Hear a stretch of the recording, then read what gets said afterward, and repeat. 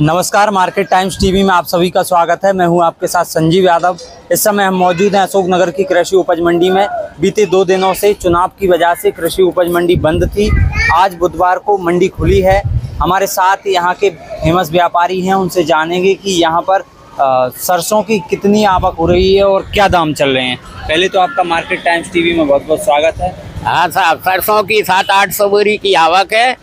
अड़तालीस सौ से लेके सैतालीस सौ अड़तालीस सौ। पच्चीस तक बिक रही है। अ, जो आप बता रहे हो सरसों की आवक हो रही है इसमें हाँ। कौन कौन सी किस्में आ रही हैं सरसों सरसों में मोटी राई आ रही है और रायडा रायडा।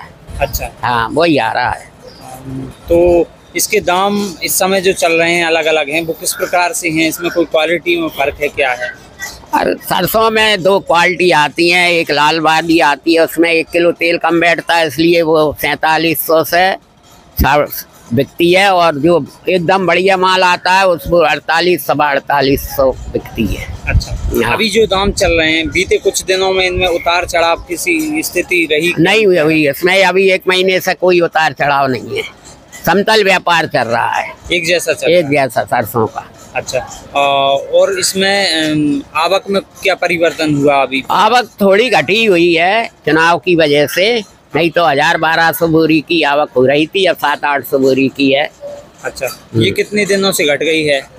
ये अभी पाँच सात दिनों से घट गई पाँच सात दिनों। एक हफ़्ता से। अच्छा और जो आगामी समय में आवक की क्या स्थिति है? आपको क्या लगता है? कितनी आगामी समय में चुनाव हो गए हैं अब थोड़ी किसान निपट गए हैं अब आवक थोड़ी और बढ़ेगी अभी तो। कितनी बढ़ सकती है? कितनी बढ़ने की उम्मीद है? हाँ बारह तेरह सौ बोरी फिर सरसों आने लगेगी अभी तो। अच्छा। हाँ और- पंद्रह जून तक आवक का प्रेशर रहेगा। अच्छा अच्छा। आगामी समय में इसके भाव को लेकर क्या कहेंगे? दाम उतार आएगा इसमें- क्या स्थिति रहने वाली है? बाज़ार में ऊपर अभी सपोर्ट नहीं है इसलिए बाज़ार के भाव तो यही रहेंगे यही उम्मीद है। बारिश के मौसम तक कोई उतार उतार चढ़ाव की उम्मीद नहीं है अभी। अच्छा अच्छा अभी फ़िलहाल कोई उम्मीद और क्या? आयात हो रहा है ना विदेश से तेल आ रहा है इसलिए अभी इसके भाव बढ़ने के चांस कम नज़र आ रहे हैं। अच्छा हाँ। तो इससे ये जो आयात होने लगा है इससे किसानों को नुकसान हो रहा है और आयात से नुकसान होता ही है माल। व्यापारियों को? व्यापारियों को भी नुकसान है स्टॉक कर लिया है उसके भाव नहीं बढ़ रहे तो ब्याज भाड़ा लग रहा है किराया लग रहा है वेयर हाउस का। अच्छा अच्छा। और किसानों के पास इस बार उत्पादन कैसा हुआ है इसका? इसकी बोनी भी घटी हुई है और उत्पादन भी कम हुआ है। बीते साल की अपेक्षा कितना फ़र्क मानते हैं इसमें आप? इसमें तीस परसेंट की कमी है पिछले साल की हाँ। आवक में और इस साल की मतलब आवक पिछले में। साल की आवक और इस साल, साल की में में 30 तीस परसेंट की कमी है सरसों में इसके बावजूद भी भाव नहीं है। अच्छा अच्छा। फिर भी भाव? आयात के कारण। अच्छा। और विशेष आयात हो रहा है ना हाँ। इससे। आ, आपका क्या कहना है? सरसों की वर्तमान समय में क्या सरसों में स्थिति ठीक है सौ पचास रुपए का उतार चढ़ाव चल रहा है अभी सरसों में। हाँ। आगामी भविष्य ठीक है मंदा तो नहीं जाना चाहिए बाज़ार। अच्छा। पड़ा रहेगा बाज़ार। और थोड़ी अराइवल बढ़ने की संभावना है।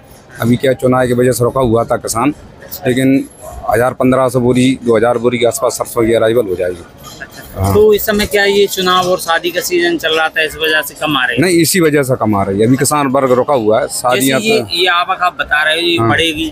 ये बढ़कर कब तक आने लगेगी? शुरुआत में एक आध हफ़्ते बाद बढ़ जाएगी। जैसा अभी तीन दिन और मंडी बंद है कल के बाद इसके बाद किसान आएगा। जिसके बाद सोमवार से आएगा। सोमवार से हाँ, हाँ, अच्छी बढ़ने लगेगी। बढ़ना बढ़ना चाहिए अराइवल दाम के बारे में क्या कहेंगे दाम तो अभी किसान देखो चना का तो अच्छा दाम मिल रहा है उसको बासठ तिरसठ रुपये किसान बेच हुए इस भाव में। किसान को अच्छा पैसा मिल रहा है। बढ़ी। और सरसों मसूर भी ले रहे हैं कुछ पंजीयन में भी तो रही है तो किसान संतुष्ट तो नहीं है लेकिन उसको ज़रूरत है तो बेच रहा है। पंजन में कितना फ़र्क है किसान के लिए? सरसों में पंजीयन में करीब छह सौ रुपये का फ़र्क है सरसों में। मंडी में और सरकारी खरीद जैसे जो मंडी में आ रही है क्या वजह है किसान कोई पंजीयन दे नहीं पा रहा है नहीं कुछ किसानों ने करवाया नहीं पंजीयन। हाँ। किसी ने कराया तो वो तो तुड़वा रहा है। क्या कारण रहता है? कोई दिक्कत आती है अरे किसी ने नहीं बोया। बोया है तो किसी कोई बोलता है किसान मुझको पैसा देना लेना देना है तो पैसा कट जाएगा मेरा। हाँ। इसलिए वो नहीं बेचता। है अच्छा यानी कि जो प्रक्रिया रहती है उससे पैसे आते हैं कहीं अकाउंट में किसी कोई केसीसी वगैरह ये दिक्कत आती है? नहीं उनको कोई लेना देना रहता है उनको ऐसा लगता है कि हमारा पैसा ना कट जाए। अच्छा।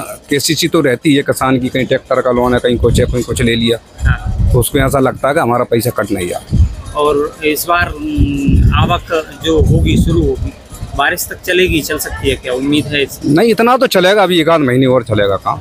बारिश के मतलब बाद इसी तरह हाँ, इसी तरह चलेगा। इसी थोड़ा कम हो जाएगा। अराइवल कम। अराइवल कम हो जाएगा। दाम?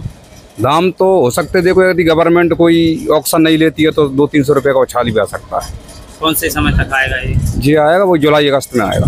अच्छा जुलाई अगस्त में आ सकता है। बात करने के लिए बहुत बहुत ठीक है धन्यवाद।